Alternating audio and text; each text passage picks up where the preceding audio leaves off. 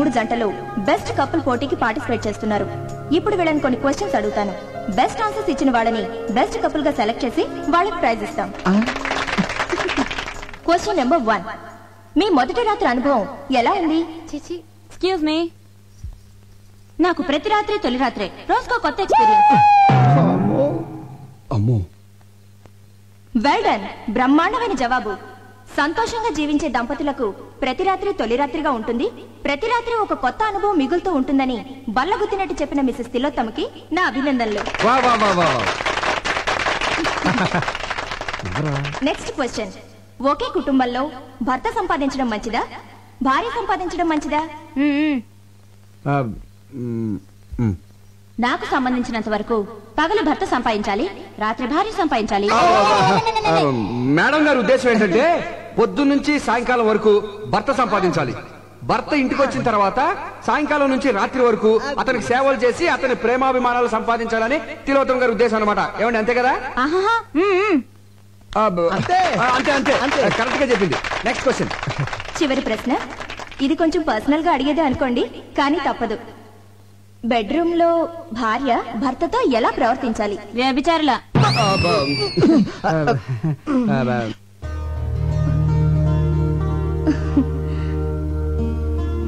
శయనేషు రంభ అన్న పదానికి ఒక కొత్త అర్థాన్ని చెప్పారు శ్రీమతి తిలోత్తమ గారు.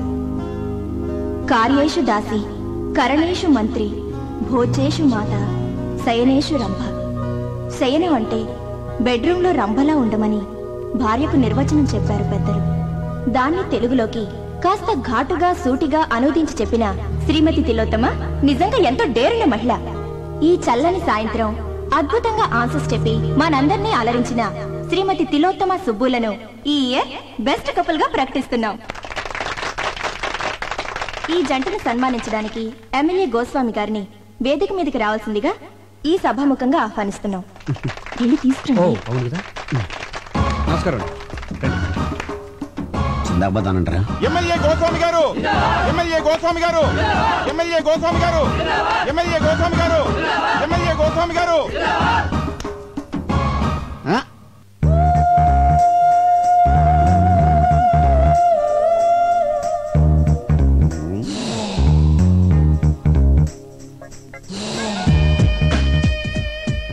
పదండి. ఈ క్యాండిడేట్ ఎక్కడో చూసినట్టుంది? సమస్య లేదండి. ఎందుకంటే చాలా డిస్టెన్స్ విలేజ్. శ్రీకాకుళం పక్కన ఒక కుగ్రామం అండి. చాలా క్లోజ్ రేంజ్లో చూసానయ్యా అంటే ఓట్లు అడుగుతాకి వెళ్ళినప్పుడు చూసుంటారేమో. లేదు రూమ్లోనే ఆ, అయితే పోలింగ్ బూత్లో చూసుంటారేమో. ఒకసారి కల్లోకి కూడా వచ్చిందయ్యా. ఎప్పుడు? అసెంబ్లీలో పడుకున్నప్పుడు? అసెంబ్లీలో పడుకునే టైం ఎక్కడండి కొట్టుకోవడానికి టైం సరిపోవట్లేదు. అది కరెక్టే. అయినా ఈ అమ్మాయి మావాడి భార్య. నువ్వు చేసుకున్నావా? ఏ మీరు చేసుకుంటారా? మారుమనువా మార్చి మార్చి మనవాడితే తప్పలేదండి. ఆ. ఆ పిల్ల ఎవరో తెలుసా? ఒకసారి చెప్పినట్టు జ్ఞాపకం. వాళ్ళ కింద పదివేల మంది జనం ఉన్నారు. వాళ్ళకి నీ విషయం చెప్పాను అనుకోండి. మొత్తం ఓట్లు పోయి నీ సీటు తిరుగుద్ది. వద్దులేవయ్య బాబు. అయినా ఈ అమ్మాయి ఆవిడ దగ్గరికి డ్యూటీకి వచ్చే ప్రతి ఓడికి నాకు ఓటేయమని చెప్పింది అనుకో. బంపర్ మెజార్టీతో గెలిచేయచ్చు. బ్యాక్ హిస్టరీ ఏదైతే మనకెందుకు? కదా? ఆ, పదండి పని చూసుకుందాం. Welcome sir. Thank you thank you తీసుకోవా. ప్రియమైన సోదర పతులారా సోదర సోదరీమణులారా ఇక్కడ బెస్ట్ కపుల్గా ఎన్నుకోబడిన తిలోత్తమ గారు? నా సోదరి తిలోత్తమ గారు. మామూలు ఆడది కాదు లక్షల్లో ఒకరు. ఎంతో కష్టమైన ప్రశ్నలకు చిటికలో సమాధానం చెప్పిందంటే అది మామూలు విషయం కాదు. ఆమె అనుభవాలు నేర్పిన తెలివితేటలు. ఆమె తీయటి అనుభవాలన్నింటినీ పుస్తకం వేస్తే విపరీతంగా సేల్ అయిపోతాయని నా నమ్మకం. ఏంటనయ్య మిమ్మల్ని గట్టెక్కించడానికి నేను ఊబిలో కూరుకుపోతున్నట్టున్నాను ఇప్పుడు ఏమైందిరా అదే మరి ఈ విషయం నాలుగు గోడల మధ్య మన నలుగురికి తెలుసు అన్నారు ఈ రోజు నాలుగు వందల మందికి తెలిసింది. రేపు ఇంకో వెయ్యి మందికి తెలుస్తుంది. దాని తర్వాత నా రాజీకి. ఎందుకై భయపడతావు?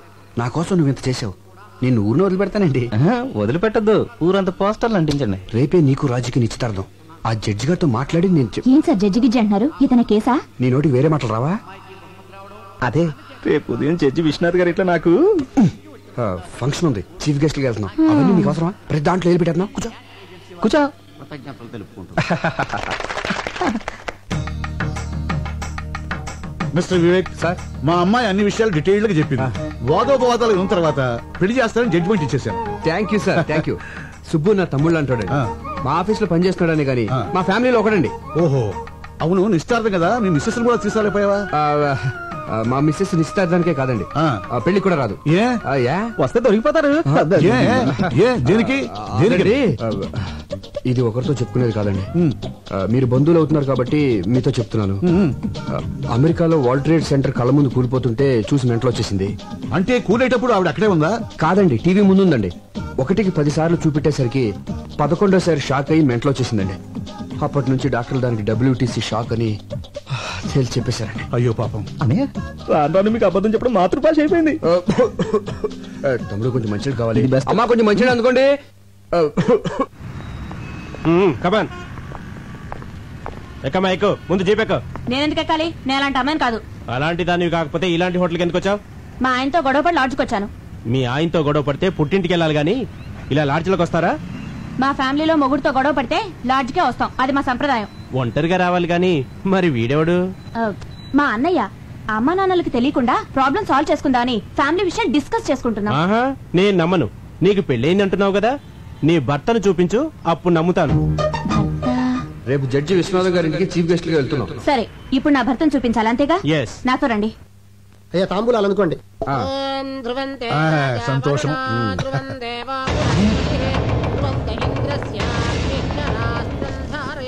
Good morning sir. తాంబూలంలో తండూరి చికెన్ ఇది వచ్చిందండి పెద్దరావు. ఏమిటిదంతా? Sorry sir. లాడ్జ్ మీద రేట్ చేస్తే ఎవడు దొరికింది? ఈమె తన భర్త ఎవరో చూపిస్తానని ఇక్కడికి తీసుకొచ్చింది. ఈ ఇంట్లో మగాని నేను తప్ప ఇంకెవరూ లేరయ్యా? ఎవరో చెప్పు. అది?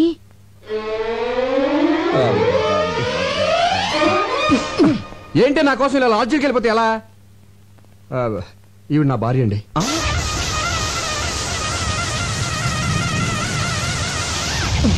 జడ్జి గారు.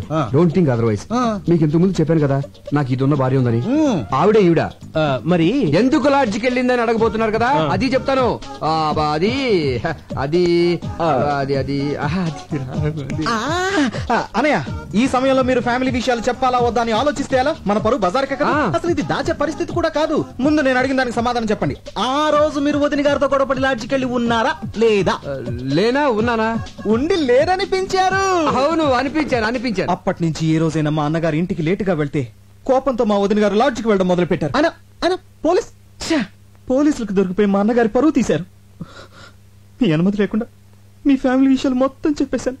ఐఎమ్ వెరీ సారీ అని నేనేమైనా తప్పు చేశానా సార్? లేదయ్యా. నేల నుంచి బయటపడడానికి నిజం చెప్పడం చట్టరీత్యా తప్పు కాదు. అల్లుడు చాలా మంచి పని చేసావయ్యా. దీంతో నీ మీద నాకు రెస్పెక్ట్ పెరిగిపోయింది. సార్! నువ్వు చాలా ముదిరిపోయావురా. ఎంతైనా మీ శిష్యుని కదా? వెళ్ళొస్తాను సార్. ఆ మంచిది. సార్ ఒక్క నిమిషం. ఏమండి? ఇంకెప్పుడు లాడ్జికి వెళ్ళను అని చెప్పబోతుందండి. మ్మ్హ్మ్. ఇంకెప్పుడు ఏ లాడ్జ్లో దొరికినా పట్టుకోవద్దని చెప్పండి. చెప్పు. చెప్పండి. ఆ, ఇన్స్పెక్టర్ గారు చెప్పింది కదా? ఏ, అలాగే అని చెప్పి పంపించాను ఓకే సార్. ఆ, రాజీ మా అన్నయ్య వదిన రా ఆశీర్వాదం తీసుకో. మ్మ్. మ్మ్. బాలేదు డాడీ. పోనీ ఇది బాగుందా? అంత బాలేదు డాడీ. ఇరవై ఐదు కాసులు ఉంటుంది బాగాలేదంటామేంటి జడ్జి గారి కూతురువి స్టేటస్ బట్టి నగలేసుకోవాలి. మీరు స్టేటస్ చూస్తారు మేము టేస్ట్ చూస్తాం. వేసుకునేదాన్ని నేను. నాకు నచ్చాలి కదా డాడీ. సరే సరే సరే. ఇది బాగుంది చూడండి. ఏది? నాన్నగారు చూసిందే బాగుందమ్మా. పోనీలే నీ మాట ఎందుకు కాదనాలి? అది ఇది పక్క పక్కన పెట్టి చూడు. ఇదే బాగుంది మమ్మీ. ఇదే నచ్చిందా? సరే నీ ఇష్టం. Excuse me me wedding cards I'm so sorry అండి.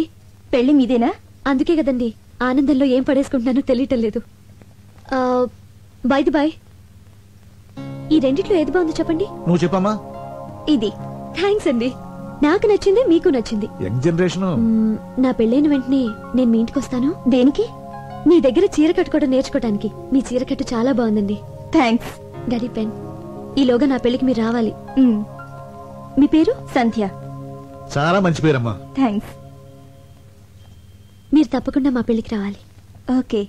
అయితే కోచింగ్ ఎప్పుడు వస్తున్నారు? ఏ కోచింగ్? అదే చీర కట్టుకోవడం నేర్చుకోవడానికి.